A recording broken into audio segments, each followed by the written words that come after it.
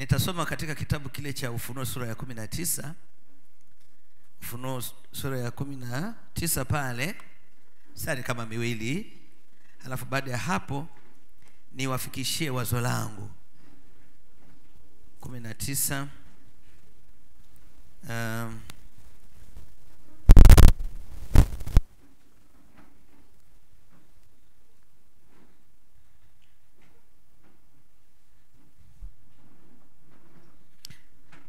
kumi na tisa na tuombe kabla ya kusoma neno hili.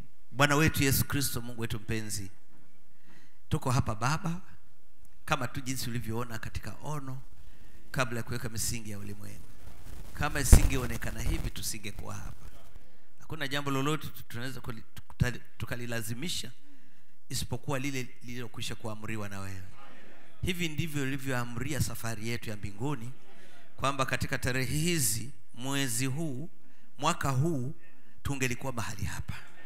Na, kaha, na kama hivyo ndivyo ilivyo tunaamini vyema kabisa kwamba mbingu yote iko hapa. Kuhakikisha kwamba hakuna chochote shetani anafanya cha kutufadhaisha. Kwa hiyo mungu wetu tunakushukuru sana. Sante kwa wapendwa waliokuja na wale wengine bado wako njiani pengine. Wabariki bwana tunakusihi mungu wetu usitupite. Kusudi la wewe kutuleta hapa lisitupite bwana. Bali tukapate kulichukua hilo na kulipata ili tutakapoondoka mahali hapa tuwe na kitu cha kusimulia. Mkutano wa boma. Mkutano wa boma. Baba tunakuomba mungu wetu mpenzi uje baba ujimimine miongoni mwetu na mioyoni mwetu kwa wingi sana hata shetani akapata kushindwa vibaya. Tunaomba kwamba mungu wetu mpenzi utamtilia mafuta mtumishi wako kwamba baba atakuwa na ya kunena mengi mpaka tu muda ndio hautatoshea. Kwa hiyo tunakuomba mungu wetu uonekane tangu mwanzo wa mkutano mpaka mwisho wa mkutano. Tutembelee bwana wetu yesu. Tunaomba mungu wa mbinguni usituache hata kidogo. Bariki mioyo yetu fariji mioyo yetu tufariji bwana katika yote ya kiroho na ya kimwili bwana ukapate kutupatia na utatue matatizo yetu pia ukijibu na ma maswali yetu mbalimbali ambayo huenda yametutesa kirefu yametusumbua. Bwana wewe uje ukapate kuyajibu maswali yetu yote na kwa kupitia huduma hii mungu watoto wako wapate kunyenyuliwa na kuinuliwa tena na kupewa hatua zaidi ya kukukaribia wewe naomba mungu wa mbinguni. Bwana usikie maombi haya. Sasa baba kwa ajili ya hiki kidogo cha jioni ya leo naomba ubariki kusoma kwa hili neno na ukamwache roho mtakatifu aje ajitwalie mamlaka yote akapate kushuka na kuchukua tu mwili huu wa kibinadamu akautumie yeye vile anavyoona inapenda. Zuia neno lolote la mwanadamu na wazo lake lisitoke bali neno lako litoke bwana na ukalibariki na kulitilia mafuta likapata kuleta matokeo mema katika maisha yetu. Naomba bwana yesu usikie maombi haya na ubariki kusoma kwa hili neno kwa kuwa tumeomba. Ni katika jina la yesu kristo bwana na mwokozi wetu. Amen. Ufunuo kumi na tisa tasoma mstari miwili tu. Mstari wa saba na wanane na tufurahi tukashangilie tukampe utukufu wake kwa kuwa arusi ya mwanakondoo imekuja na mkewe amejiweka tayari. Naye amepewa kuvikwa kitani nzuri ing'arayo. Safi. Kwa maana kitani nzuri hiyo ni matendo ya haki ya watakatifu. Bwana aongeze baraka. Kwa kusoma kwake tunaweza kuketi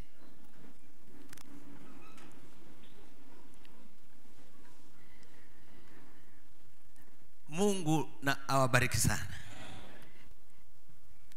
Nita- ta- nitazungumza kitu fulani kidogo alafu ndo nitawaambia kile ninachowazia. Unajua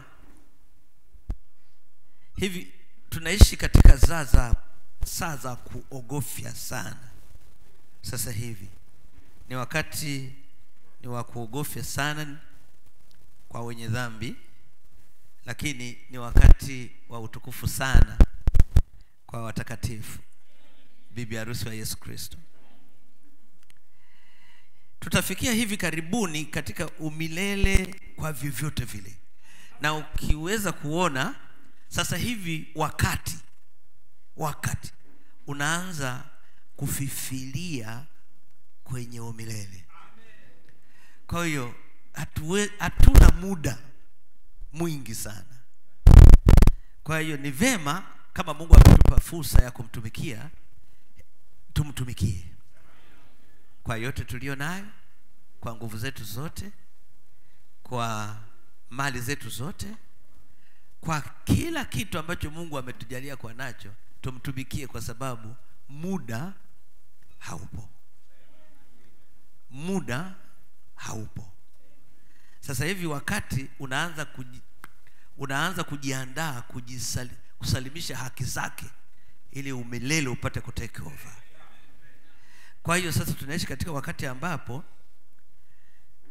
usi, usijaribu ala usithubutu kukosa kuko, kukosea fursa uliyopewa.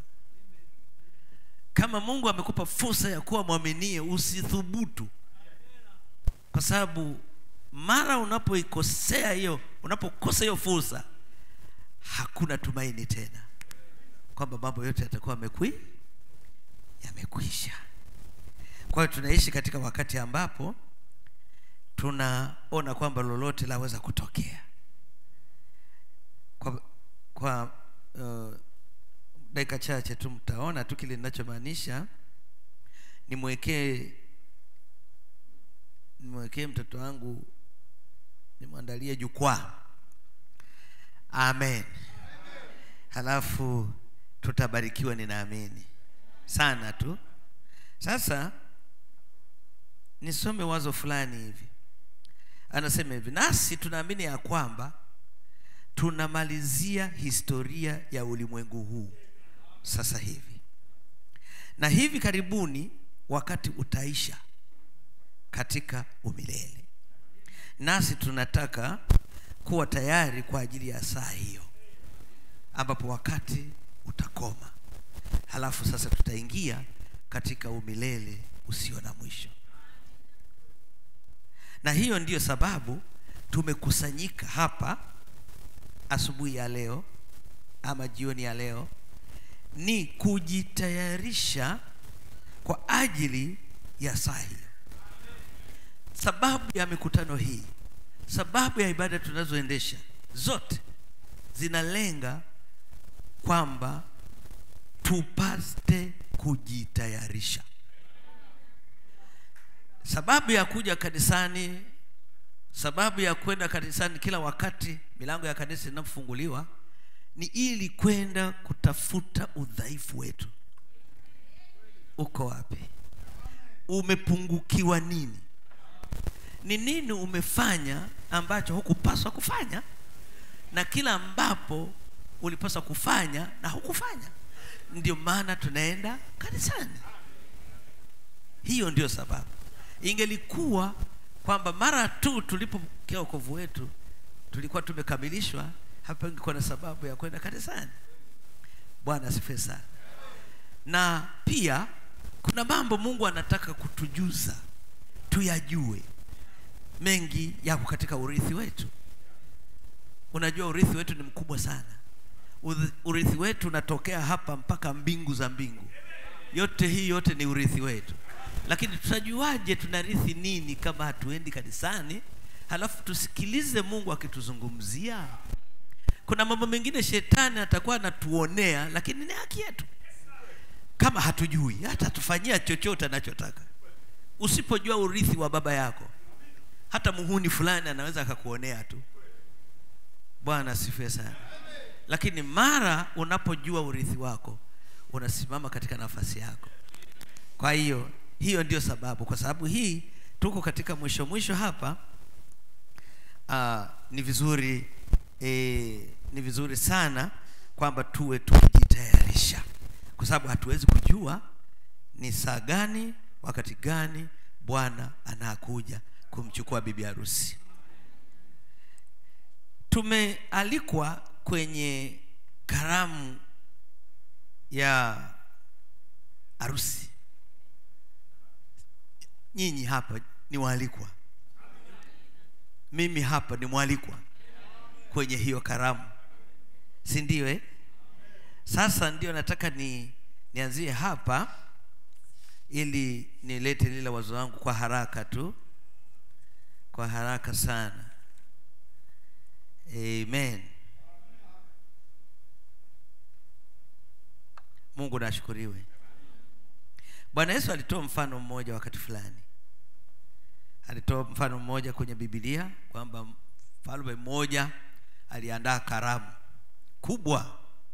Alikuwa mfalme yule tajiri. Akaandaa mambo mambo mambo mambo mambo. Akachinja vinono. Javani nimemwona yuko huku ngoja.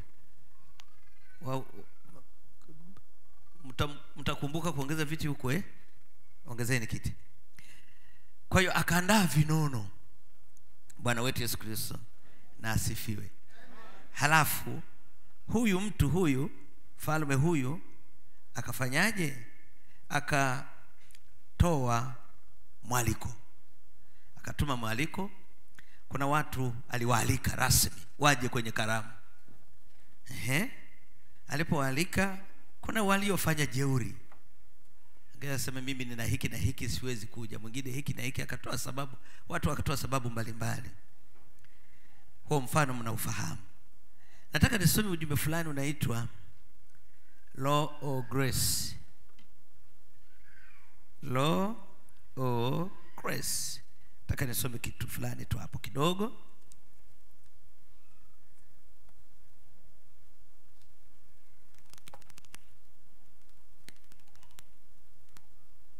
Mhm. Eh. Ah, kabla sijafika huko kwanza. Kabla sijafika huko. Kwanza bibi harusi amevikwa vazi. Hakuna bibi harusi asiyevaa vazi hata wa kawaida. Na sisi sote tunajua nitaenda kwa njia ya kufundisha sio kuhubiri. Sisi sote tunajua hivi mara bibi harusi anapovaa vazi ni mkali. Hataki watu wasogee vazi lake wakalichafua. Kwa hiyo hapendi madoadoa kwenye vazi. Anataka kulikeep clean. Bwana asifiwe sana. Na huwa anabadilisha hata namna ya motion anapokuwa amevaa vazi ile. Hata kutembea kwake kama alikuwa anatembea kwa kukurupuka sasa hivi hata kuamka anaamka kwa stage kwa hatua akijilinda na kujitunza vizuri. Kwa nini? Amevaa vazi. Lile vazi kwake ni heshima kubwa sana kwa sababu yuaenda kuolewa. Si ndio eh? kwa hiyo sasa kwa hiyo sasa nataka tuzungumzie kidogo vazi la harusi. Vazi la nini? La harusi. Mtanivumilia tu kidogo kidogo. Namwekea mtoto wangu jukwaa. Ehe. kwenye ujumbe fulani unaitwa majina ya makufuru. Majina ya makufuru tasoma kitu fulani tu hapo hivi. Hmm. Mhm. majina ya makufuru. 281 iko wapi? Ndo hii kweli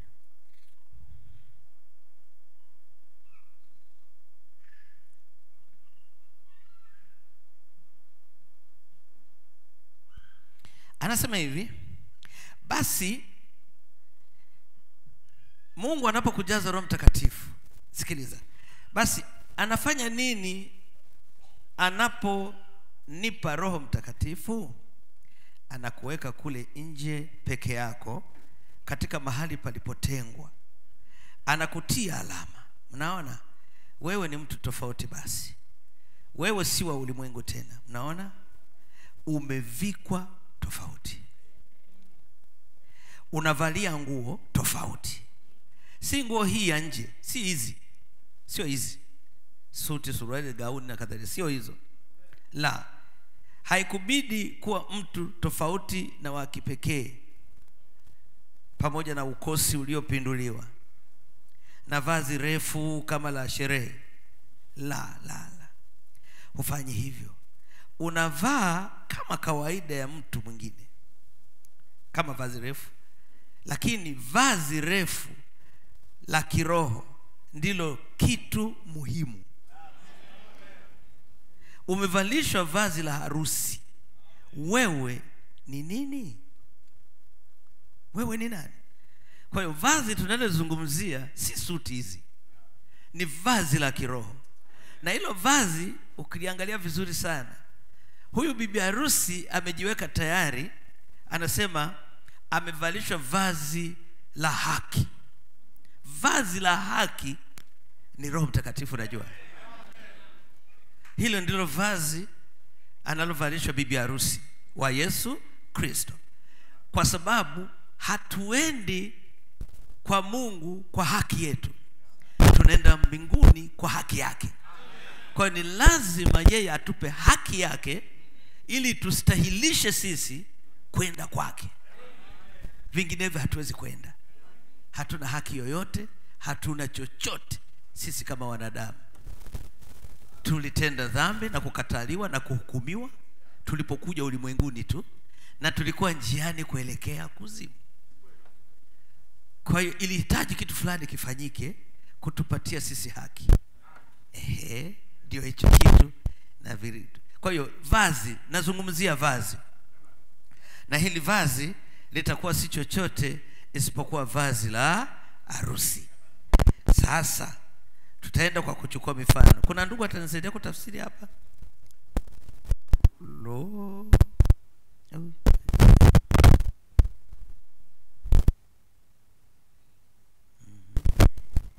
Yupo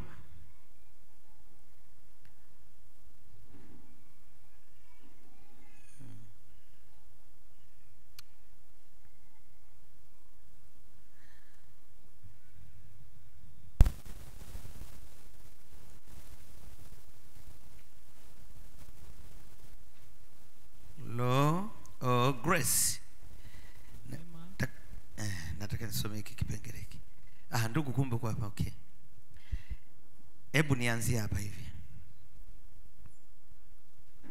Unajua iko hivi katika nchi za mashariki nchi zile orient, orient countries nchi za kimashariki wao wana desturi. Na hiyo desturi katika mifano mingi bwana yesu alizungumza alikuwa akichukua desturi za kimashariki. Bwana apewe sifa. Walikuwa na desturi za jinsi ya kuendesha harusi zao na mambo mbalimbali. Kwa hiyo ndio nataka niichukue hii ambayo bwana yesu aliichukua lakini akifundisha mambo ya kilindi ya kiroho. Kwa mifano hii hii ya kawaida hivi. Katika ujumbe huu para ya mia moja ishirini na moja anasema and the bride ilikuwa hivi uh, tunaokolewa kwa neema lakini ni kwa kuchaguliwa pia by election. kwa kuteuliwa. Kwa kuteuliwa. Na hakuna mtu anaweza kuja kwa mungu isipokuwa mungu amekuja kwa yesu isipokuwa mungu amvute yeye kwanza.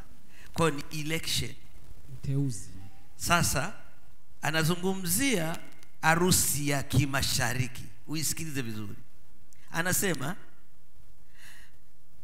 bwana harusi alipokuwa anataka kufanya sherehe ya harusi yeye ndiye aliyekuwa mwalikaji. Yeye bwana harusi mwenyewe ndiye anayealika sio kamati. Ni bwana harusi. Ndiye anayealika mwenyewe. Kwa hiyo anachagua mtu anayemtaka kuwa kwenye harusi. Yeye. Na hiyo ndo tunaita election. Bwana asifiwe sana na anapokuwa ametoa mwaliko kwa yeyote anayemtaka aje kwenye harusi yake alikuwa anaandaa na mavazi. Anaandaa na mavazi. Kama amealika hamsini yako mavazi hamsini. Kwa hiyo huwezi ukakosa roho mtakatifu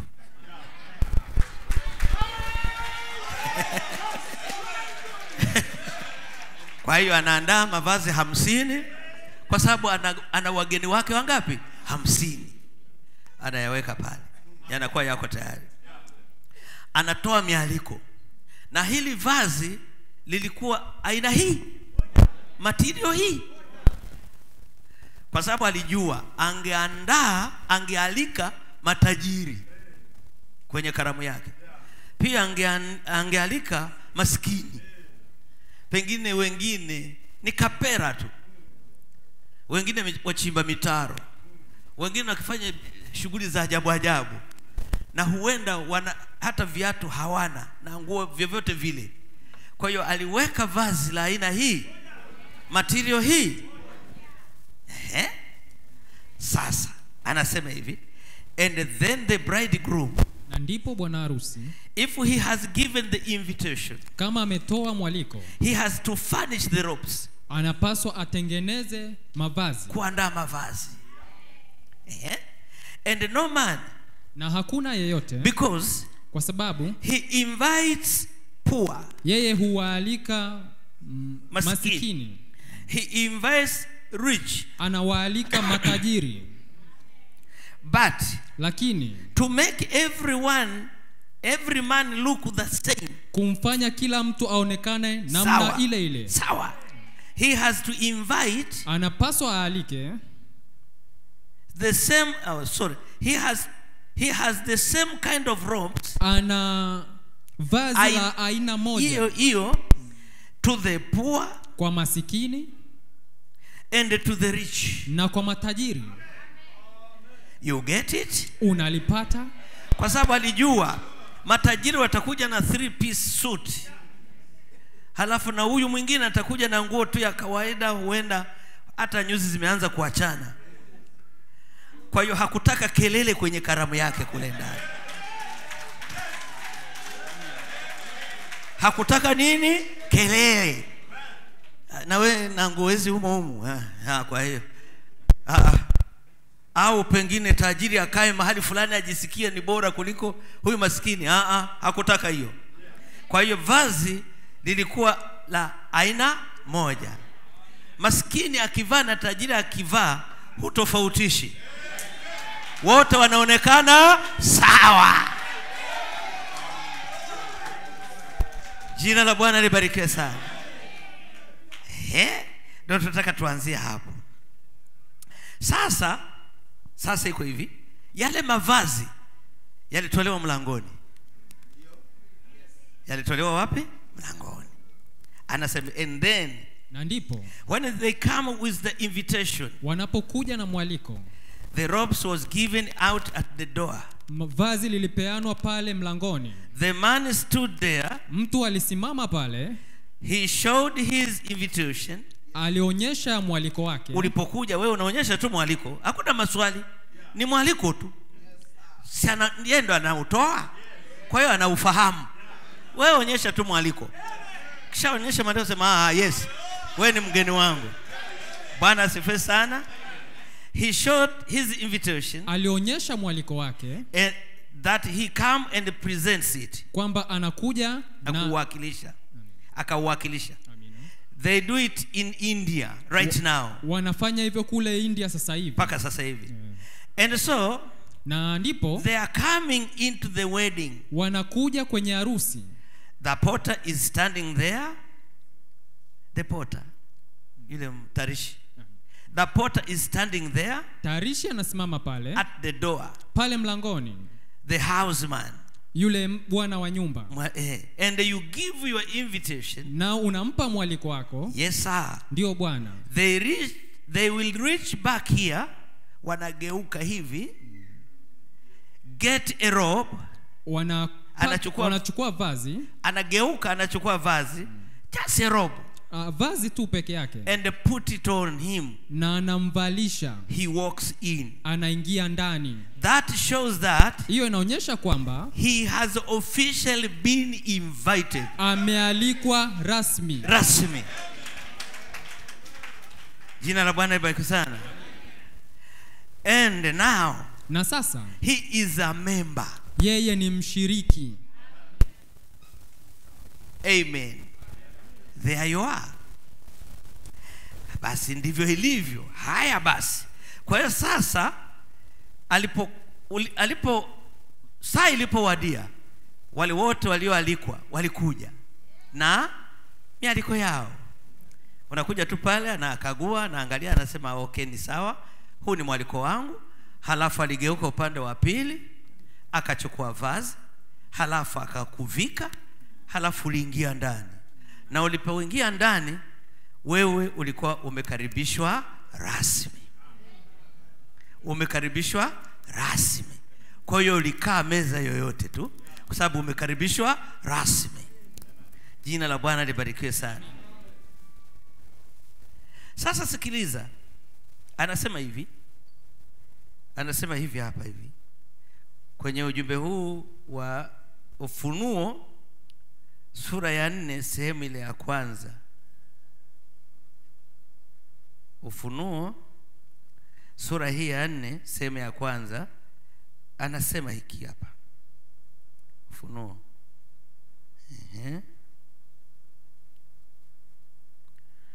ufunuo sura, sorry, ufunuo sura ya nne.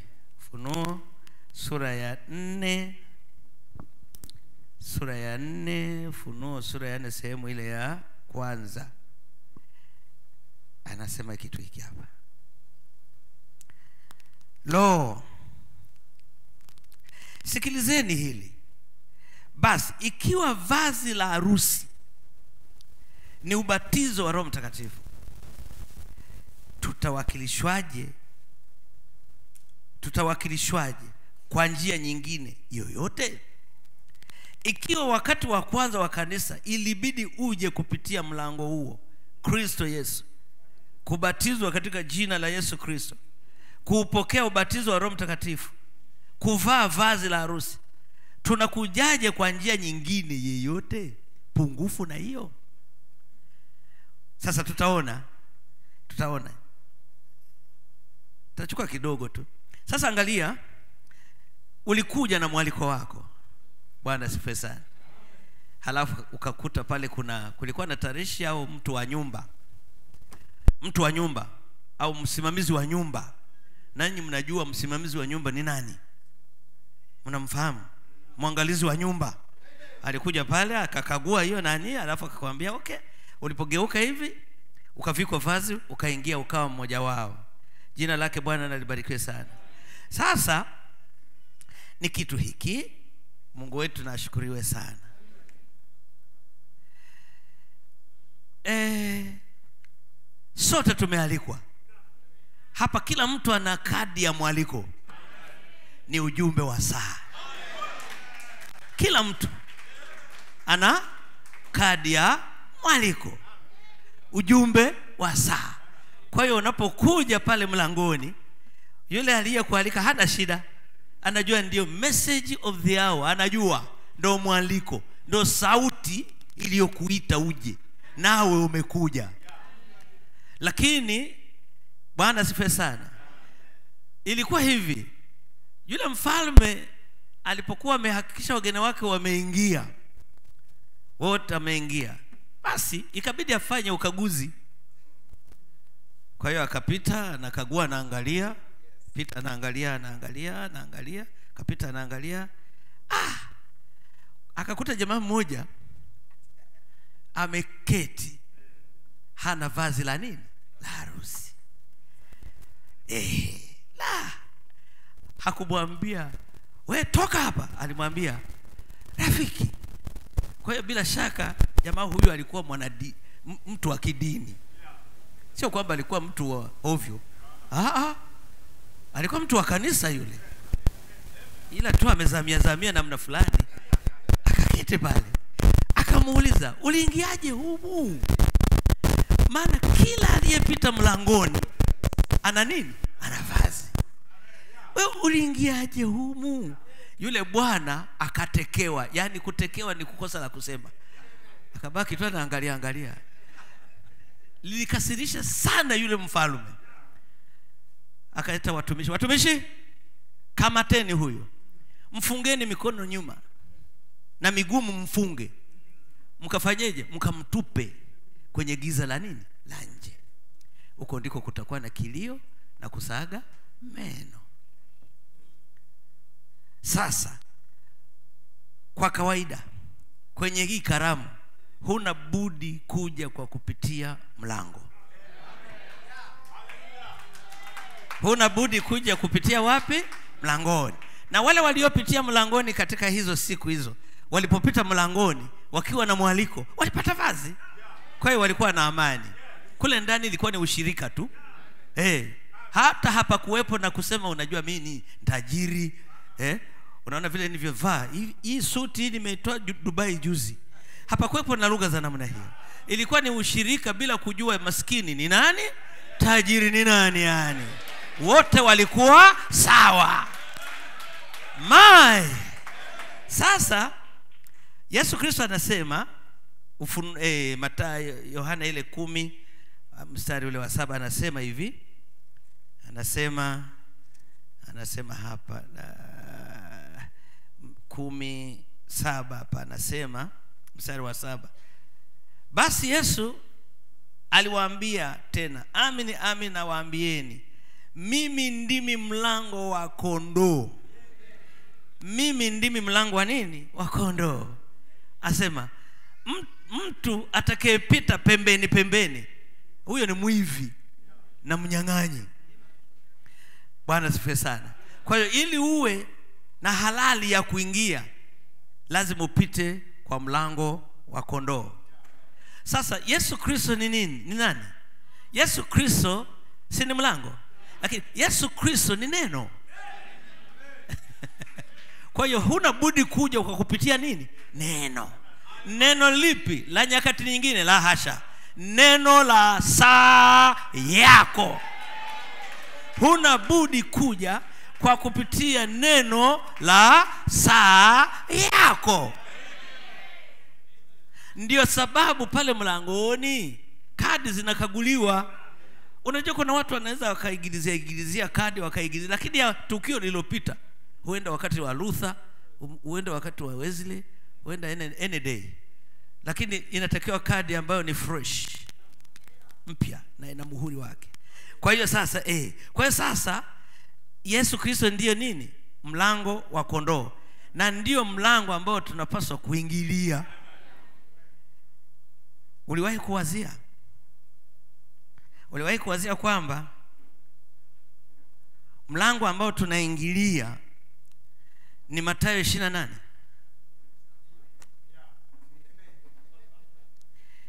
Matayo ishirini na nane? Hapo ndipo mlango tunapoingilia. Taisoma tu kwa nabii hapa ameweka vizuri wala hahitaji kuumiza kichwa. Uh-uh. matayo ishiri na nane anasema ishiri na nane kumi na nane anasema yesu akaja kwao akasema nao akawaambia nimepewa mamlaka yote mbinguni na duniani.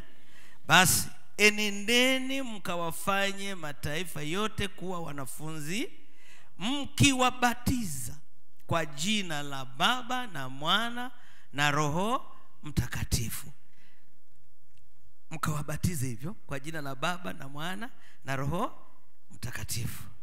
La hebu hebu tusome ufunuo mlango wa nne. Ufunuo mlango wa ufunuo mlango wa nne. Ufunuo, ufunuo mlango wa eh, oh, ufunuo mlango wa nne. Ufunuo mlango wa nne sehemu ya tatu haya iko hapa. Para ya mia tatu ishiri na tisa nianzia hapo hafu nitashuka hapo chini. Sasa matayo ishiri na nane kumi na tisa ishiri na nane sasa. Hapo ndipo ninyi ndugu wa utatu mnapo mnapoelekea. Vema. Matayo sehemu ya mwisho ya huo mlango alisema enendeni basi mkawafundishe mataifa yote mkiwabatiza kwa jina la baba na mwana na roho mtakatifu. Lakini hapa lakini hapa pentekost inakuja. Naye petro akasema tubuni mkabatizwe kwa jina la yesu kristo. Mungu nashukuriwe sana. Haya twende polepole kuna kasoro fulani hapa. Matayo matayo hivi wewe ndiwe mlinzi wa lango hilo la mashariki? Bwana apewe sifa. Kila kiti cha enzi kililindwa. Na walinzi hawa wanne. Kunakuwa na wa mashariki kaskazini kusini na uh, eh, mashariki magharibi kusini kusini na kaskazini. Kulikuwa na walinzi. Kulikuwa na makabila kumi na mawili makabila kumi na mawili mashariki kumi na mawili magharibi kumi na mawili huku na huku. Jumla kumi na eh, sorry si kumi na mawili makabila matatu matatu matatu matatu. Tatu mara nne ni ngapi? kumi na mbili. Makabila kumi na mawili. Lakini kulikuwa na kabila moja ambayo ilikuwa linaitwa head. Head of the tribes. Sasa mi sitazungumzia huku kwingine nataka nizungumzie la mashariki sasa hili la mashariki upande wa mashariki head of the tribe alikuwa yuda. The lion of judah. Bendera yao ilikuwa ni bendera ya simba wa kabila ya yuda. Nembo yake. Sasa ambayo katika agano jipya mashariki lango la mashariki ambalo ndio lilikuwa lango la kuingilia kwenye mahali pa hema ya kukutania. Ilikuwa liko mashariki ambako ilikuwa kuna yuda. Sasa kwenye agano jipya kwenye agano jipya injili ambayo inalinda mlango wa kuingilia ni matayo mpo? Ehe. Lina, yani nani injili inayolinda kiti cha enzi huwezi ukakifikia mpaka umguse matayo na ndiko lango la kuifanyaje? La kuingilia kwa sababu waliingilia mashariki. Na matayo yuko mashariki. Bwana yesu asifiwe sana. Kwa hiyo sasa sikiliza. Sikiliza hapa hapi. Anasema hivi likoje hilo lango? Anaendelea pale tatu tatu moja. Likoje hilo lango lango ni kitu gani? Yesu. Aha. Lengo ni nani? Yesu. Yeye alisema ni ni mlango wa nini? Wa kondoo. Yesu. Yeye ndio mlango wa kondoo. Kwa hiyo lango hilo ni yesu. Anasema yesu alisema. Yesu alisema mlango ni mwembamba. Hiyo ni kweli? Linaendelezwa. Yaani linaendelezwa na kusema. Linaendelezwaje kwenye kiingereza inasema hivi straight is the gate. Sasa anasema straight straight maana yake ni mlango bahari. Mpo? Straight ni mlango nini? Bahari mfano.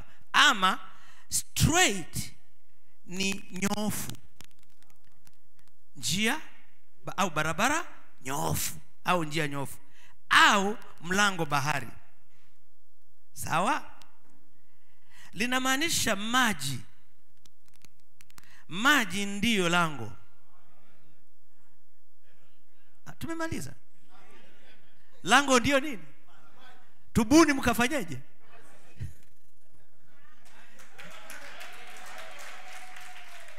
Eh?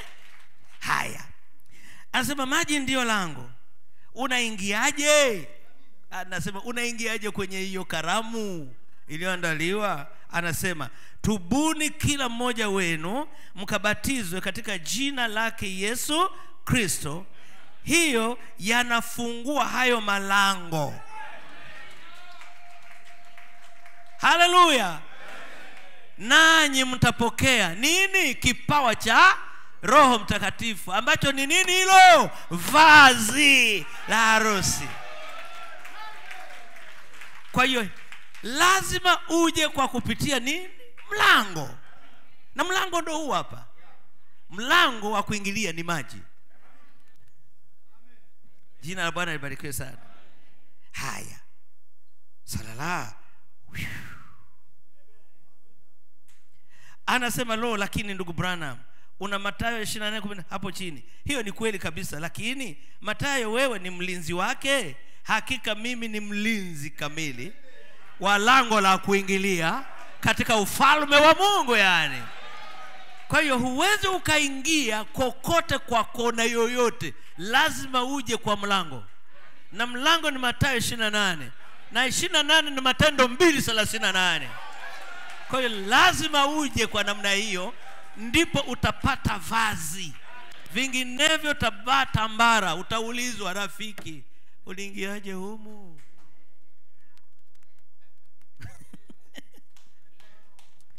Mungu atusaidie. Haya bwana. Sasa ninataka nisome. Njoo ndugu huko hapo eh? nataka nisome kitu fulani hapa. Hebu sikiliza hivi.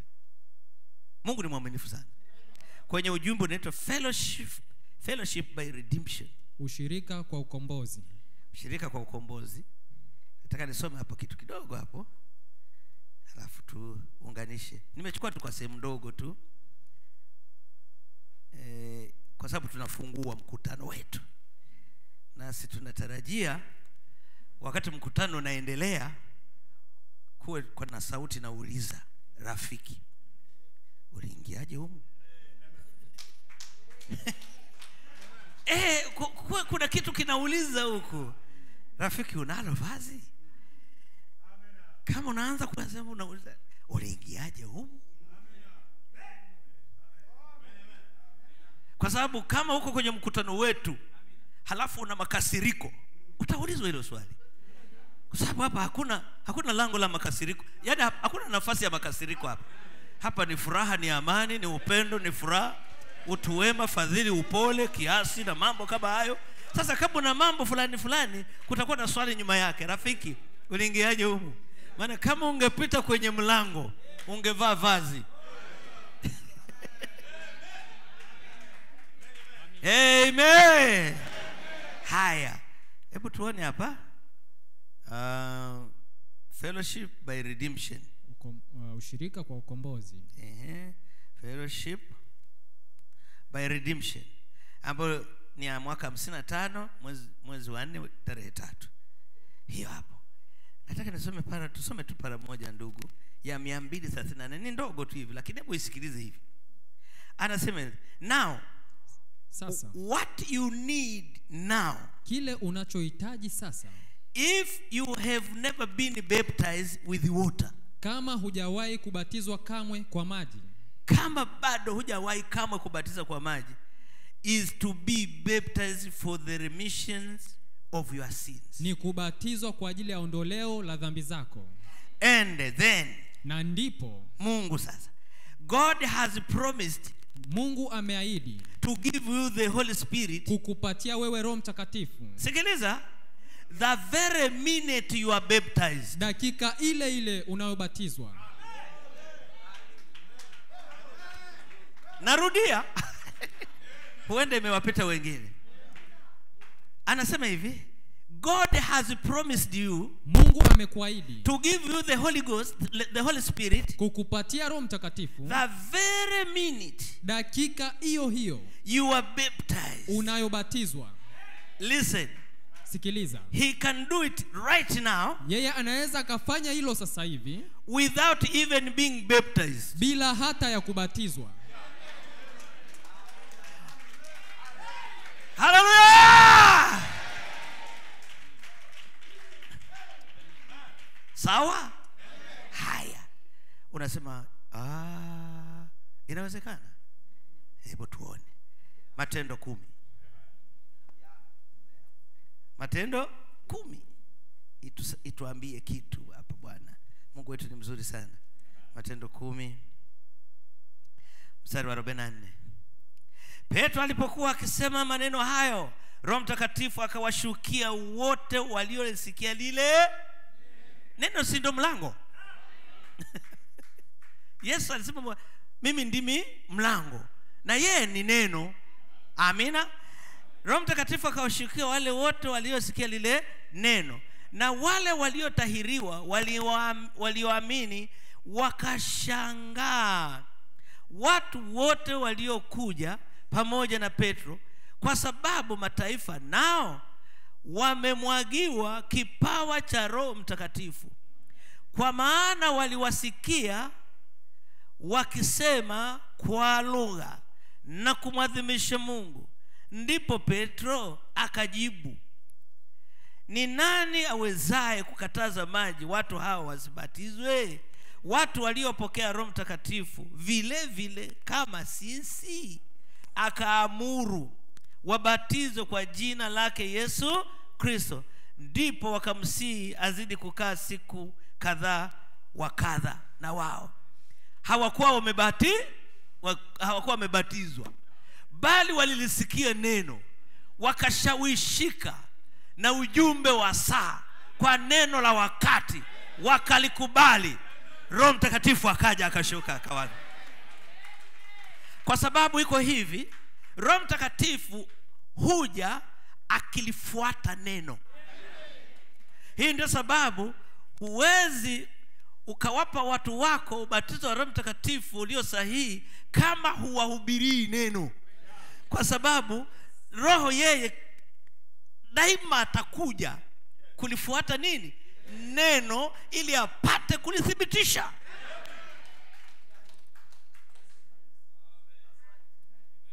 mungu nashukuriwe sana. Kwa hiyo kumbe mungu amesema hapa anaweza kukupa roho mtakatifu ile dakika unayobatizwa. Kwa sio ajabu sana ukaona mtu ile anazamishwa majini ile anaibuka tu tayari.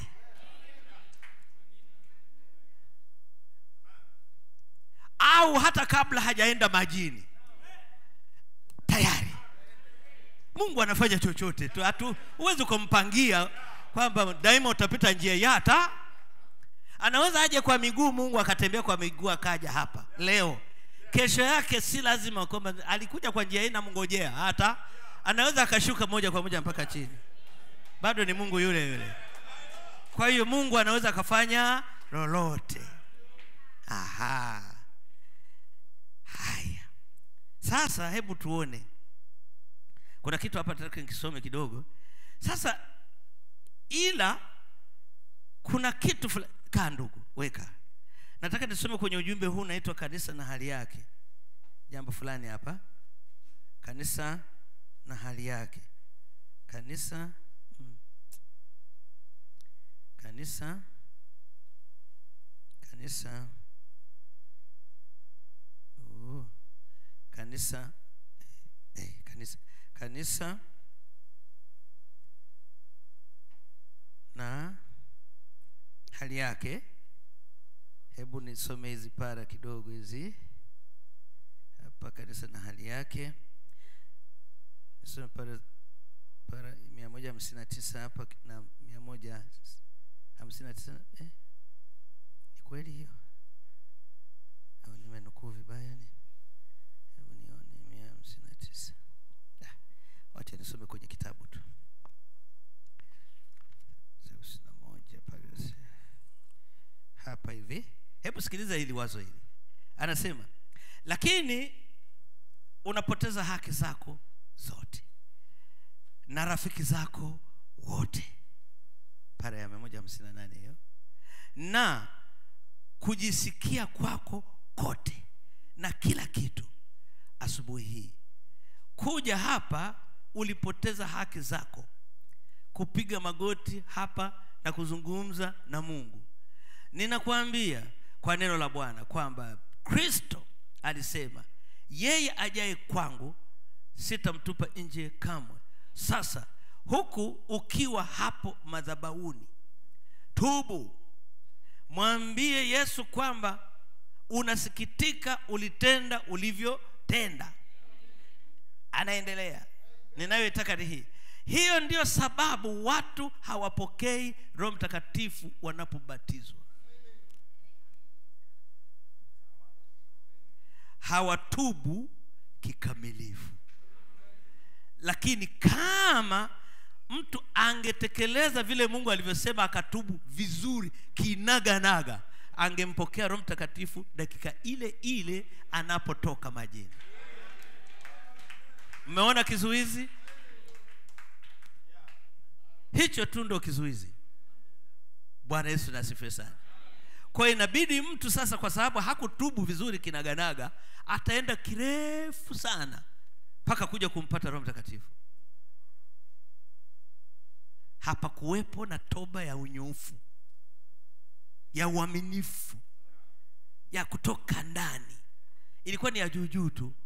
Wakati mwingine anasema ah baba ameniambia na mimi ndo nachelewesha hapo hapo nyumbani nimebaki peke yangu ameniambia tu nikabatizwe huwezi kupata roho mtakatifu kwa njia hiyo.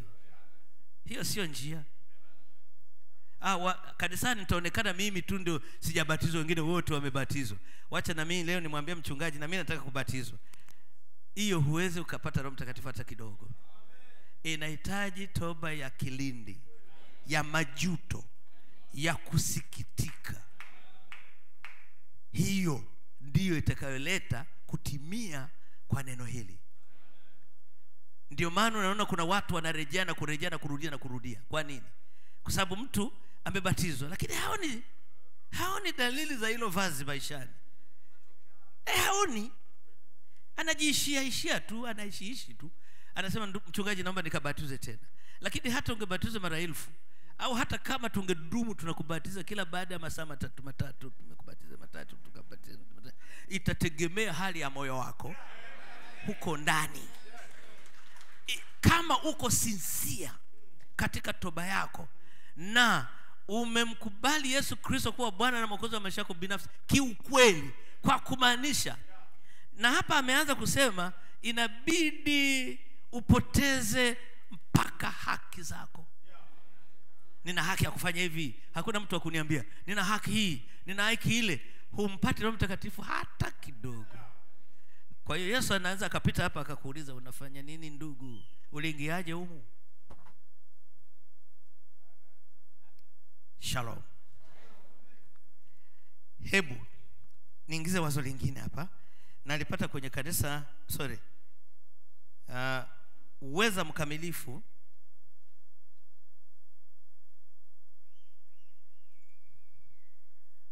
Uweza mkamilifu ka, kwa udhaifu mkamilifu tanzia nitasoma kirefu kidogo lakini uvumilia tu kwa sababu siko mbali sana na kumaliza. Anasema hivi nabii anasema sisemi hili kusema mambo haya kusudi niwe tofauti yani aonekane yuko tofauti na watu wengine. Lakini wakati mwingine chini ya upako unajua mambo ambayo usingeli nini usingelithubutu kuwaambia watu. Halafu wakati mwingine chini ya upako jambo fulani litatokea. Unakuta umelitamka. Chini ya nini? Upako. Mnaona? Wala hata hata hata jua na moja ya mambo ninayoamini yalisemwa.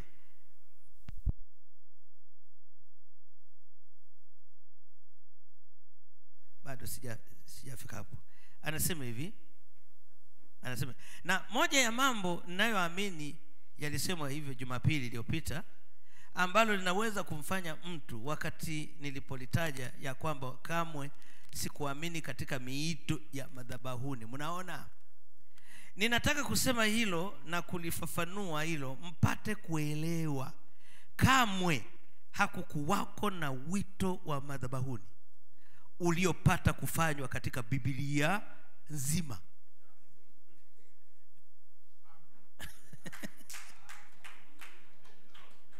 Bwana asifiwe sana. Hakuna kitu kama hicho katika maandiko. Hamna mahali po, mahali kote katika nyakati ulipotolewa mpaka kwenye wakati wa methodist. Yapata miaka mia mbili mia mbili miaka mia mbili iliyopita mnaona? Kwa hiyo mwito wa madhabahuni uliletwa na kanisa la kimethodist lakini hauko kwenye bibilia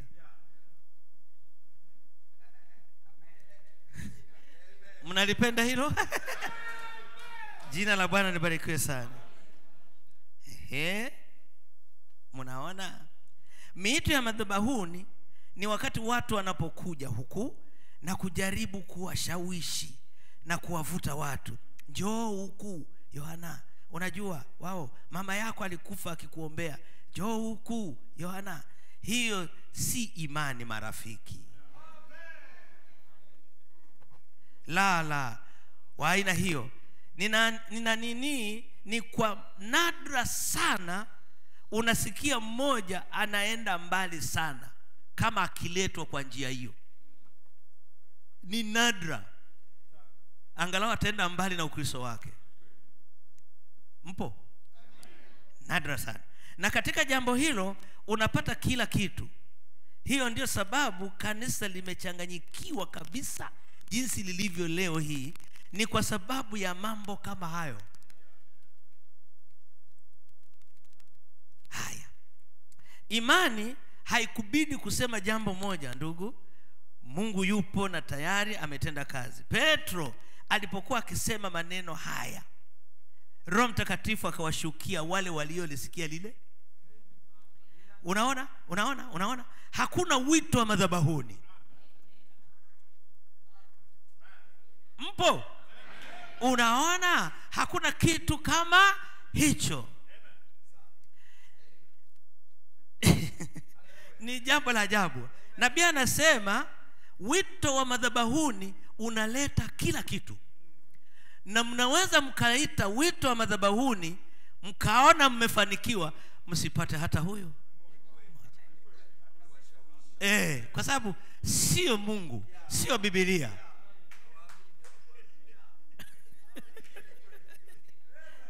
kwa unashangaa kanisa limechanganyikiwa katika mambo. Huyu si alienda mbele huyu si alienda akatubu pale inakuwa kuwaje tena? Alishawishiwa. Sio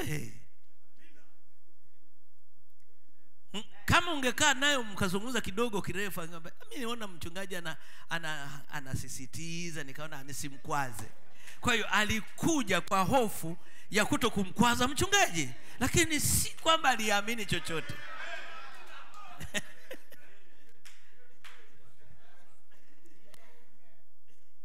bwana nawabariki sana. Sasa madhabahu ndipo mahali pa kwanza pa maombi ambapo kila mtu anayekuja kanisani anapopaswa kuingia kwanza apige magoti madhabahuni aombe kimya kimya aombe kimya kwa mungu na kuomba dua na maombi kwa ajili ya wapendwa wao na kumshukuru mungu kwa ajili ya yale wamefanyiwa. Kisha warudi kitini mwao. Ndivyo ambavyo ime, imefundishwa ndivyo ambavyo imeaminishwa watu si ndio? Unaenda madhabahuni pale. Lakini tu, mungu naashukuriwe unajua sasa hivi madhabahu iko kwenye moyo wako? Sio hapa. Iko wapi? Moyoni mwako. Hapo ndipo unakutana na mungu kama kuna jambo limeenda kombo. Unakutana naye kwenye madhabahu ya moyo wako.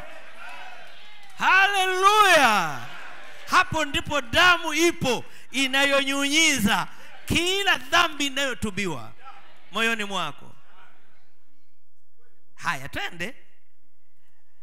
Halafu kanisa ni mahali ambapo neno la mungu nayo hukumu huanzia kwenye nyumba ya mungu ambapo hukumu ya neno hutolewa kanisani sasa.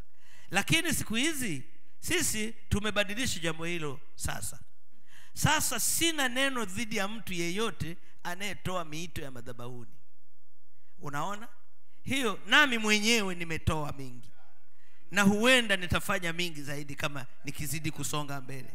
Lakini kwa nafsi yangu kwa nafsi yangu unaona?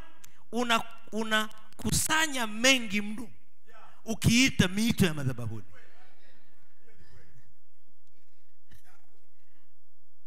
jina la bwana libarikiwe sana. Hii ndio sababu nakuta watu wanaenda kirefu hawampati roho mtakatifu kwa sababu inategemea madhabahu alikujeje. Kwa sababu kama angeshawishika kama watu wangeshawishika na lile neno linahubiriwa kuwa ni kweli ni neno la mungu halisi lisilogoshiwa wakaliamini kwa kushawishika kwenye mioyo yao wenyewe. Wangepokea roho mtakatifu wakiwa wameketi pale. Pale. Kwa sababu hata ukiichunguza ndiyo njia ya mungu kwa upande wa mataifa. Eh. ndio ikawashangaza akina petro. Wamepata roho mtakatifu yule ambaye sisi tulimngojea siku sijui ngapi wao kwa kuwasikiliza kusikiliza kidogo ndo tayari.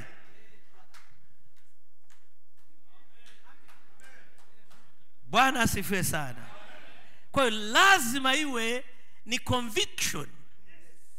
Yaani iwe ni hukumu ndani ya moyo wa mtu mwenyewe binafsi neno lina hukumu dhambi yake yeye mwenyewe anatoka kule hata kama mhubiri bado hajamaliza atatoka kule yeye mwenyewe atakuja hapa atapiga magoti mwenyewe. Hicho ndicho mungu anamaanisha. Haleluya!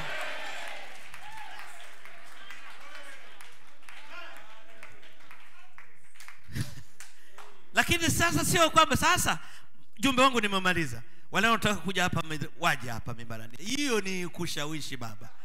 Utachukua mengi. Amesema. Mwenyewe amesema asema utaleta mengi kweli hapa.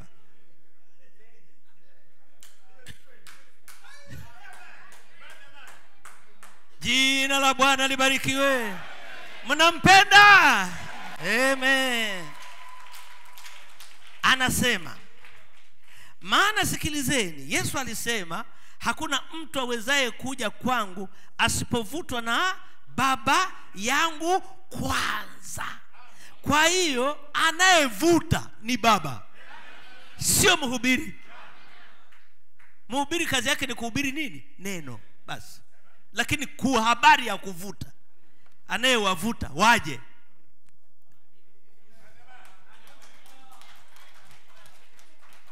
anasema nao wote alionipa baba watakuja kwangu. Hiyo ni kweli. Kwa hiyo basi mnaona?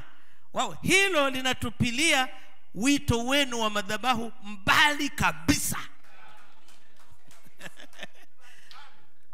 Tulikubali wahubiri. Yaani hata tusiso- tusizozane nalo. Ndo hivi ilivyo. Anayevuta anayeita watu waje kwa toba ya ukweli ni nani huyo? Ni baba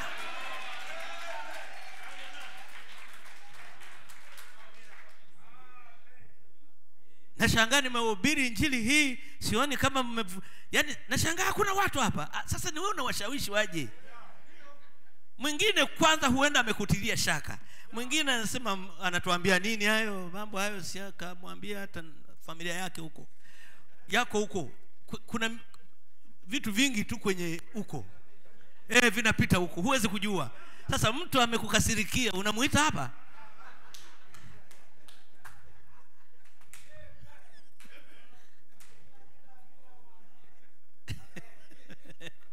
jina la bwana libarikiwe sana. Kwa hiyo naona mungu lazima mungu awe ni mkweli. Anasema hilo linatupilia wito wenu wa madhabahuni mbali kabisa. Mnaona? Mnaona hilo? Wote ambao baba una nini? Jukumu letu jukumu letu ni kuhubiri neno. Basi! Biblia ilisema wote walioamini walibatizwa waliamini nini? Neno. Kwa hiyo ilibidi lifanyeje? Lihubiriwe. Halafu wakaliamini nini? Neno. Hata kama wanajaziba na mhudumu mwenye kulihubiri lakini lile neno lile ndilo wakaliamini. Walipoliamini lile neno biblia inasema biblia inasema walioamini walibatizwa. Tubuni mkabatizwe katika jina la yesu kristo kwa ondoleo, kwa ondoleo msamaha wa dhambi. Ati nini mkabatizwe katika jina la yesu kristo kwa ondoleo la dhambi. Mnaona? Nanyi mtapokea kipawa cha roho mtakatifu. Basi bali unapowashawishi na kuwavuta na kuwatisha watu.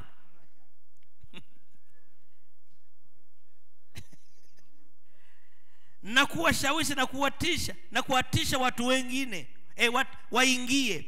Unawatisha waingie kwa kutishwa anasema watu hawana budi kuja kwa akili timamu watulivu kwa imani na kumpokea kristo. Ndipo jambo la kwanza wanalofanya mara wanapompokea kristo wakiketi vitini mwao jambo li, linalofuata ni kubatizwa katika jina la yesu kristo. Kwa ondoleo la dhambi walizoshawishika kwamba wamefanya wanakuja kupata ondoleo la dhambi ambazo wao kwa kuhubiriwa kwa neno wameshawishika kwamba tuna hatia ya dhambi hizi. Kwa hiyo wao ndo wanakuja kwa kushawishika kwa hukumu kali ya moyo. Lakini unapowashawishi kwa kuwatishia na kwa kuwaogopesha na hiki na kile wanakuja wakiwa tu watu wenye hofu na hofu haidumu. Atatishika hapa mkutano ukiisha akirudi kwenye shughuli zake hofu inayeyuka anarudia maisha yake yale yale. Halafu unaanza kushangaa we na, na mahubiri yote si we ulikuja madhabahu nikwambia uje na ukaja sema hey, nilikuja mchungaji. Sasa kuna kitu gani? Hata mi sielewi yani mchungaji. Mi ndo nataka wewe uniambie ni nini? Ni nini kilitokea yani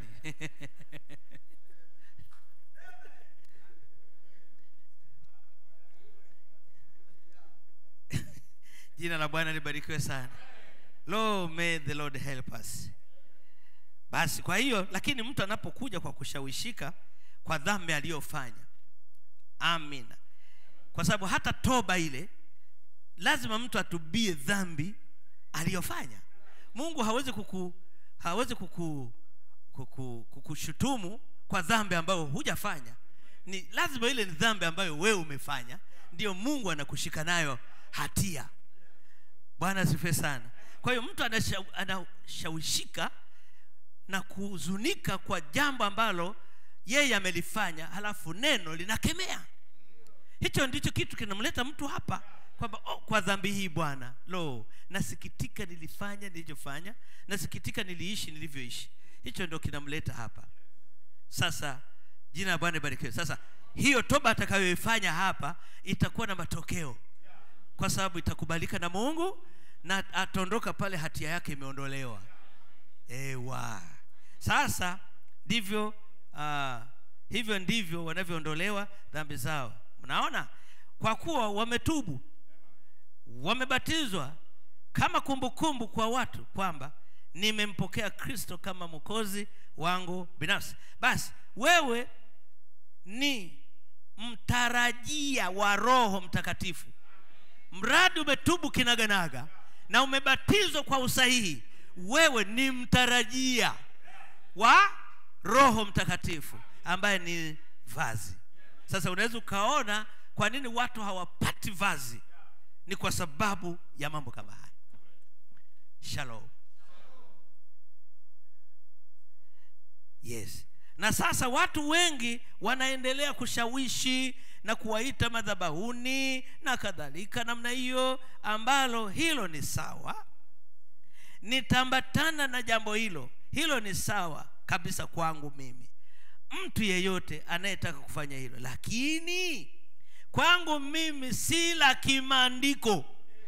Muwe tuwe tunamwangalia vizuri nabii anavyoongea unajua. Eh? anaweza akakuzungumzia kama kwamba hilo jambo hajui kumbe analijua umfuate vizuri.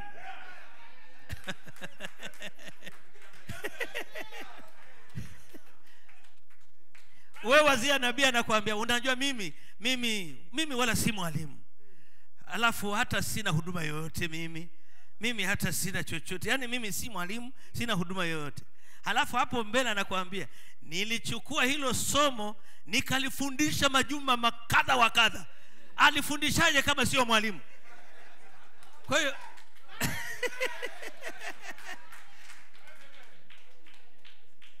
kwa hiyo mtu anakamata aseme si unaona hata yeye mwenyewe amesema. Ye sio mwalimu wala sio chochote hapa. Linakutupa nje. Mungu wa mbinguni atusaidie sana.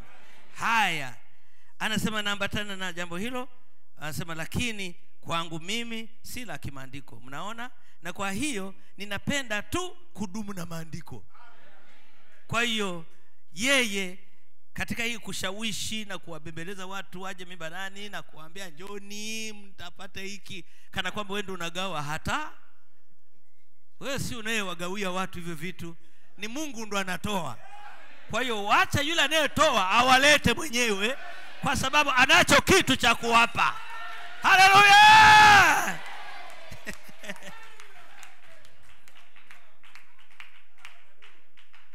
hey. lo sasa ili vazi nataka kumalizia nichukua tu sehemu ndogo. Sasa ili vazi ambalo tumejua ni roho mtakatifu. Vazi ni nini? Ni roho mtakatifu sio? Hili vazi sifa yake kubwa ya ajabu linawafanya watu wote wawe sawa. Wote. Waonekane sawa. Nitathibitisha. Amina. Sasa nisome ujumbe huu unaitwa uwekezaji. We ehe, we ke uwekezaji. Hii ya sitini na tatu moja moja moja sita b. sitini na tatu moja moja moja sita b. Siko uwekezaji nyingi lakini nachukua hii ya uh, e, ya moja moja. Nianzie pale ya themanini na tano. Anasema hakuna watu wakubwa katika ukristo Tu- tu- kwenye karamu humo ndani. Hakuna udingi. Mi mkubwa. Mimi ah, tulia. Ndio maana kuna mtu yuko mlangoni pale. Matendo mii thelathini na nane. Ukiija tu ukionyesha kadi yako umetimiza kila kitu unapewa vazi. Kama ulikuwa mkubwa unakuwa mdogo kupita kiasi. Ndio maana yake haya twende. Hakuna watu wakubwa katika ukristo huo ni ulimwengu unafanya hivyo. Uko nje walimwengu kule nje. Sawa? Sisi sote ni saizi moja. Uliwahi kuwazia? Saizi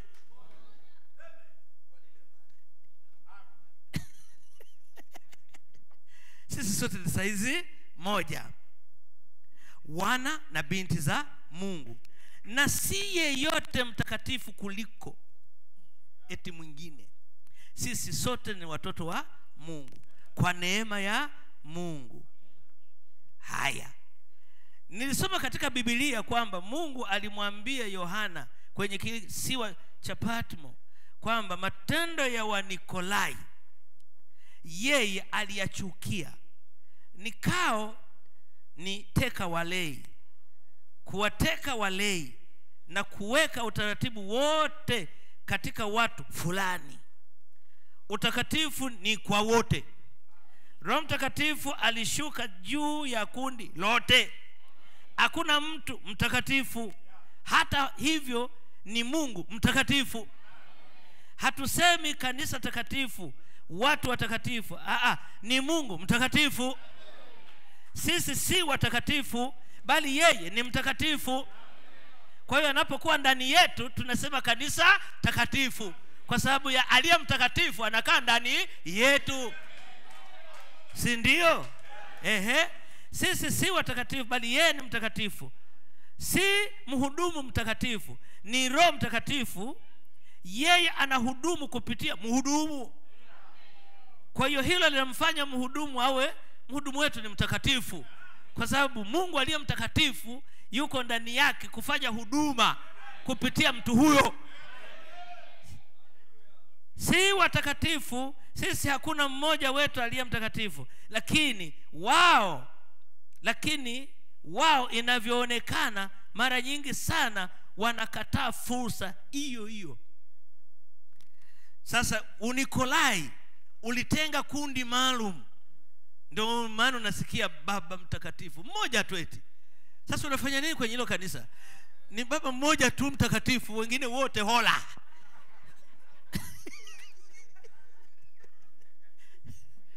aise ka hata kwa akili za kawaida mtu angejua sema hivi nafanya nini kwenye kanisa ambalo ni mtu mmoja tu ndio mtakatifu?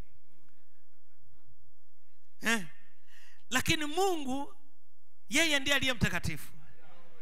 Sasa anapokuwa ndani ya watu wanakuwa ni watu watakatifu kwa sababu ya uwepo wa mungu aliye mtakatifu.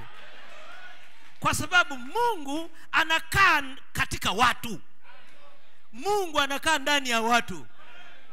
Usimwone huyo housegirl ukasema we housegirl we unani- eh, eh, unaongea ongea kaa macho. Kaa chonjo mungu anakaa ndani ya house girl mungu anakaa ndani ya house boy. Uwe mwangalifu na maneno yako wewe. Unaonaje unamwita house girl pumbavu wewe halafu mungu yuko ndani anakusikiliza kwa nini usipate kisukari? Una nini wewe?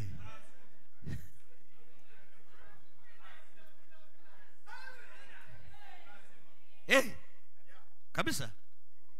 Bwana asifiwe sana. Haya hebu shikilia hiyo. Naenda kwenye ujumbe mwingine naita kushawishika kisha kuhusika. Hii ni ya sitini na mbili. Hii ni ya sitini na mbili sufuri moja moja sitini na mbili eh, sitini na mbili sufuri moja moja nane. Hapa eh, ambayo nataka nisome para ya mia mbili kumi na kumi na mbili mia mbili kumi na tatu na mia mbili nadhani kumi na nne. Mia mbili hapo hizo. Tuzisome hizo. Tumalizie sehemu yetu tu ni ndogo tu tufungue tu nitengeneze nani hii atmosphere ya watu kupokea neno. Hey, ili mpokee neno tule neno tutoke hapa tofauti kweli. Ah, tungechunguza kila mtu tungemwambia hebu sema maisha yako ya wiki moja iliyopita. Uliyamalizaje mpaka leo? Mimi kuna jirani ameniuzi hata sitaki hata kusema naye. Huenda huko hapa. Sasa wacha neno lije ili ukaseme naye natengeneza tu natenga, natengeneza jukwaa. Mia mbili kumi na mbili ujumbe huu anasema lakini mungu hana watoto wowote wadogo sana ama watoto wakubwa mno. Wote ni watoto kwake. Hiyo ni kweli kabisa. Na mahali pako panapofaa ni kuketi sasa hivi katika ulimwengu wa roho katika kristo yesu pamoja na kila nguvu kwa hiyo watoto wa mungu wote wako sawa. Awe hausigeli awe anakuchungia ng'ombe. Mradi amezaliwa mara ya pili na amejazwa roho mtakatifu yuko sawa na wewe bosi. Ndio maana mimi siamini kuwapa watu mnaoandika kazi mishahara ya kuwanyanyasa na kuwakandamiza. I don't believe that. Ni vizuri kaa naye. Kwa sababu kuna mungu kule halafu mkae mzungumze. Umwambie kiasi ambacho ataridhia. Ataridhika. Mimi ukinipa kiasi hiki ndugu yangu tafanya kazi kwa uaminifu. Halafu na wewe uridhike kwamba utampa kweli. Lakini una, nakuja hapo unamwambia sasa nimekuita hapa kwa kazi ila sasa unisikize vizuri. Mi sipendeki kulipa watu hela hovyo sasa hicho kiasi itakachokupangia ndo hicho hicho. Unasikia bwana? Kama hutaweza basi tu basi. Haya ni kiasi gani? Mi sasa kwa kazi kutoa ng'ombe na kuwarudisha na kualisha na kufanya hivi na kukamua nitakupa elfu sitini. Elfu sitini hey. ah, basi sawa. Kama hajaridhika nataka nikwambie ng'ombe watakufa kwa sababu atakuwa akinung'unika na mungu anasikia manung'uniko yake. Naye mungu anaachilia angezuia magonjwa yasije atayaachilia yaje. Unashangaa wa kwanza chini wa pili chini nasema sasa jamani mungu mbona hivi tena? Hata kuna lalamiko. Be careful. Nyinyi wa kristo ndugu msitende kilimwengu. Wale ni wakandamizaji. Sana watu wa ulimwengu. Anataka kukandamize akufaidi wakati anakunyonya wewe sio sisi.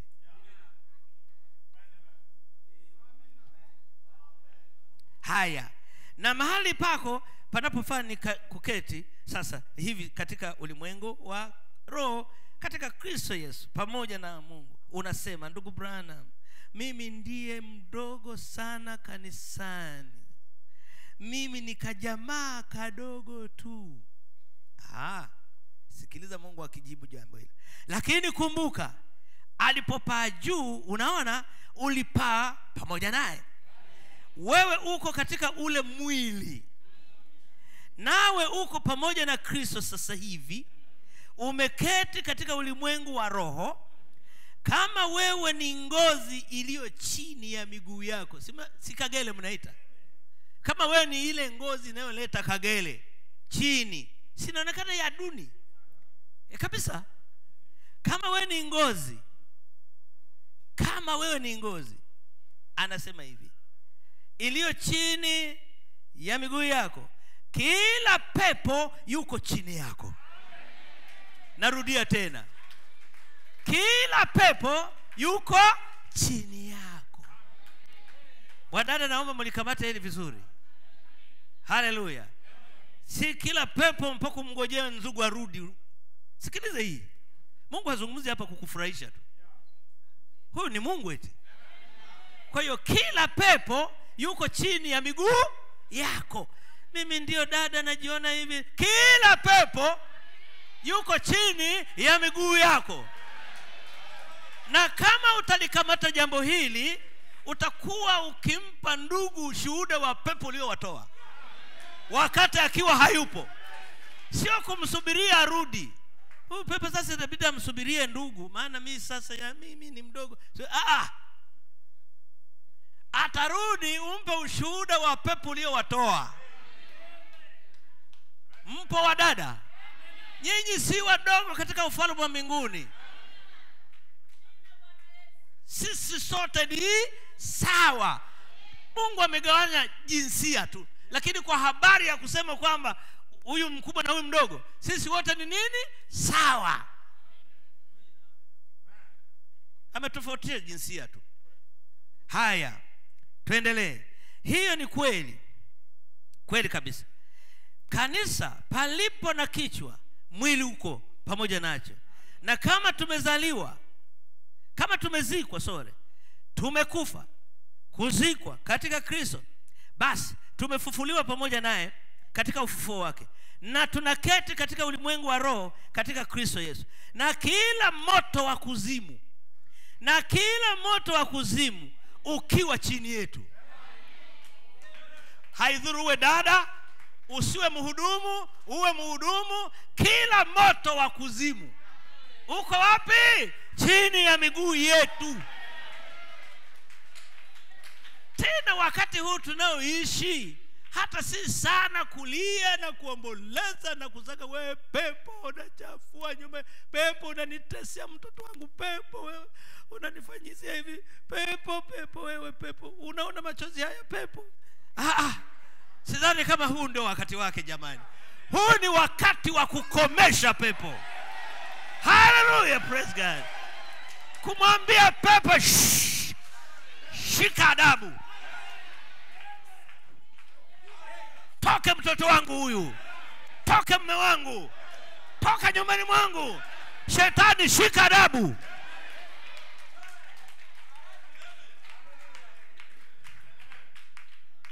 Sio kulia. Na ndio maana mungu akatuletea ujumbe akauficha kinamna akauficha. Wacha kulialia. Fanyaje? Nena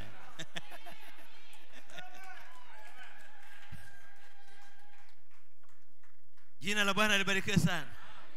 Kabisa. Ni mungu amesema yani hey, haya. Ukiwa che kila moto wa kuzimu huko chini yetu. Amina. Kweli haidhuru wewe ni mdogo jinsi gani. Kila pepo sikiliza. Kila pepo yuko chini yako. Kwa nini? Mshindi wetu mkuu ameshinda kila dhambi kila kitu kila ugonjwa hata mauti yenyewe hiyo ni kweli. Sisi ni zaidi ya washindi katika yeye. Jambo pekee tumeketi pamoja naye katika kiti chake cha nini? Cha enzi. Tukimwangalia wakati yeye akiangalia huko baba jambo ndilo hilo liko hapo vema. Mai mai mai mai hey. Ehe, sasa Bwana. Kwa hiyo sisi tunapovaa lile vazi sisi wote ni sawa. Kwa hiyo vile unavyoongea na mfanyakazi wako wa ndani au wa shambani au wa chochote, unapaswa uongee vivyo hivyo na Mkristo mwingine, kwa sababu Mungu yuko ndani yake. Lazima uwe na heshima usio kumwita majina. We likichwa Unamwita dada. Nani unamwita likichwa si yule nani huyo? Huwezi ukamwita likichwa vipi kama mungu yuko ndani? Alafu vipi kama angetokezea kidogo akamwambia unaniita likichwa nafikiri ungefariki dunia saa hii. kwa hiyo tuitane majina ya staha tuitane majina ya heshima. Wacha kuita majina haya ya purukushani ya, ya hovyo hovyo. Tuitane majina ya nini? Heshima. Basi kama huna, huna namna basi mwite dada dada yangu mdogo nilikuwa na kuita angalao basi jamani. Sio weli kichwa. Shalom. Hebu nimalizie. Nimalizie sasa hapa. Mungu anisaidie kumtendea mungu kazi bila mapenzi yake. Ambayo ni sitini na tano sitini na tano desh sufuri saba moja nane. Kumtendea mungu kazi bila mapenzi yake. Nisome paragrafu hii ya mia moja na tatu alafu nasoma hii ya mwisho ya kufunga. Mia moja na tatu hapa. Inasemaje lakini sasa angalia ushawishi. Wakati mwingine watu mashuhuri hukutanika pamoja. Unawasikia wakisema bwana mkubwa fulani na bwana mkubwa fulani bwana wetu mkubwa usifanye hivyo kamwe. Hakuna wakati hakuna watu wakubwa miongoni mwetu. Kuna mkubwa mmoja tu na huyo ni mungu sisi ni ndugu na dada. Sijui kama umchungaji wa kanisa ambalo lina watu watano mfano. Hilo halikufanyi mdogo. Una watu hawa?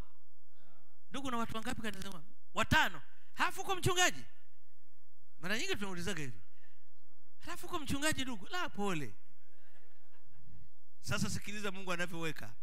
Anakwambia hata kama kanisa lako ulionalo lina watu watano hilo halikufanyi mdogo.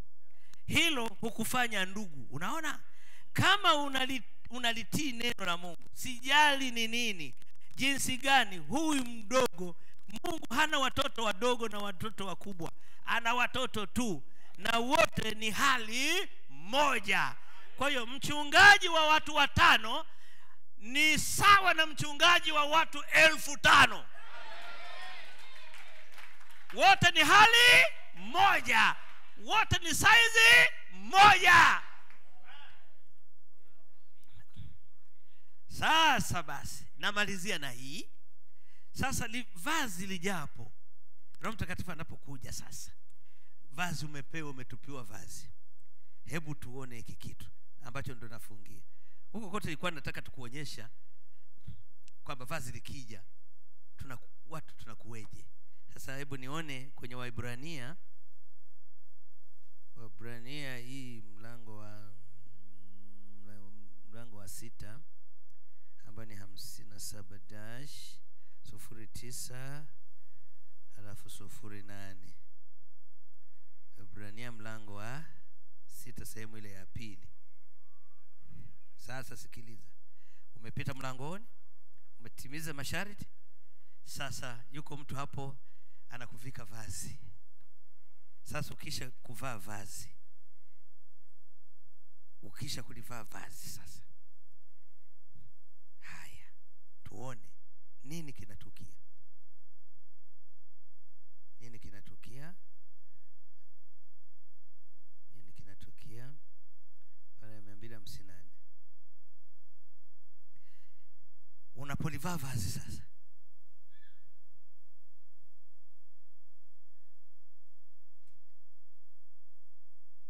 hapo ni vazi hey, una, una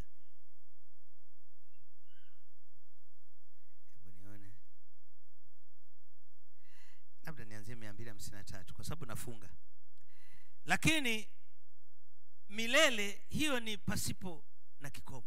Ndio maana ya milele. Yaani ni kudumu daima na daima na daima na daima na daima. Ni kile kisicho na mwisho. Nasi tunaona ya kwamba kuzimu si ya milele bali ni ya kipindi fulani. Na sababu inakupasa kuangalia maneno hayo sasa kama hutaangalia utachanganyikiwa. Sasa kumbukeni ni mambo yale tu yasiyokuwa na mwanzo ndiyo hayana mwisho. Kwa hiyo yesu alisema yeye ayasikiaye maneno yangu na kumwamini yeye aliyenipeleka yuna uzima yuna uzima. Akauliza daima? Uzima wa daima? La hasha. Bali hilo linasikika kuwa si sawa. La yuna uzima wa milele na neno milele ni mungu. Neno hilo. Hili hapa papa hapa katika kamusi ya kianene. Zoe uzima wa mungu. Ndani yako. Nawe ni wa milele tu kama vile mungu alivyo wa milele. Kwa maana una mungu ndani yako. Kwa hiyo uwa milele. Mradi uzima wa mungu uko ndani mule. Wewe ni wa milele kabisa. Ehe niliyoitaka ni hii hapa mbili hamsini nane tabia yako ya kale ilikufa. Ile tabia ya ulimwengu nawe umekuwa kiumbe kipya. Na shauku zako yale maisha ya kale yaliyokuwa na mwanzo wakati mungu alipo alipopumulia pumzi ndani ya mianzi ya pua yako ulipozaliwa ule uhai wa tabia ya kimwili ulikufa nao ulikuwa na mwanzo na ulikuwa na mwisho. Nao ulikufa na uliangamizwa milele. Ile tabia ya kale sawa? Ndipo mungu akaja na kuingia ndani ya ile tabia mpya. Ndipo sasa hilo vazi sasa umetupiwa hilo. Ndipo sasa upendo furaha amani uvumilivu utuwema amani saburi na upole na wema. Tabia ambayo iliingia na kuchukua mahali pa kijicho na hasira na chuki na wivu ugomvi na mambo hayo yote ilichukua mahali pake. Ulipopita kutoka mautini kuingia wapi? Uzimani. Mnalipata kwa usahihi sasa kwa hiyo kwa nini yesu atakuuliza uliingiaje humu? Maana lile vazi linaleta tabia ama asili ya mungu ndani yako. Kwa hiyo zile tabia za kale za makasiriko unakasirika bila sababu. Unaamka asubuhi unasonya mpaka jioni. Mpaka jioni jioni ngunu mtu unasonya nini? Nasema nieche hizo zilikufa wakati ulipokuja ukapita kwenye mlango halafu ukatekeleza masharti tukavikwa vazi hizo tabia zilifanyaje? Zilikufa.